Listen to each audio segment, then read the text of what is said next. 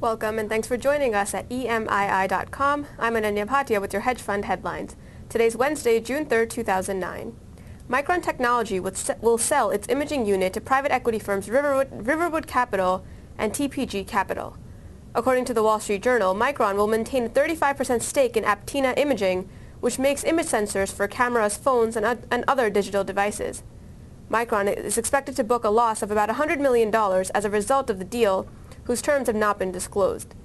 The two private equity firms will not borrow any money for the transaction. Aladdin Capital has hired St Stephen Mandela as COO and CFO. According to the Financial Times, the appointment will help the U.S.-based alternative investment manager strengthen the firm's operations and corporate government governance. Mandela was previously senior, senior managing director at New York Life Investment Management.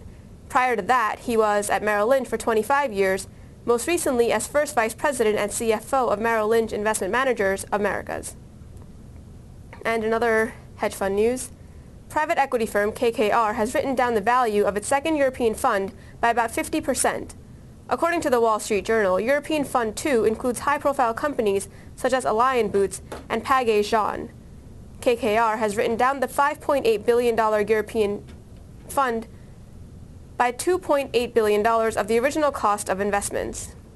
The move comes as the firm is expected to complete a 4 million euro fundraising for an annex fund earlier this month to back the European vehicle's investments. And Singapore-based Helios Capital Management is planning to set up a Slumdog Millionaire Fund, which will buy underperforming shares of Indian companies. According to Bloomberg, the hedge fund manager is seeking to raise about $50 million for its long-only Helios India JHO fund. The fund is looking to begin by investing in stocks, which have dropped about 50% since the end of 2007.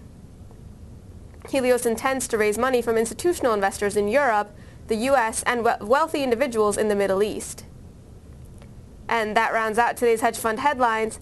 Thanks for joining us on EMII.com. For more details on these stories and much more, click onto our hedge fund channel online and read the full stories and latest developments.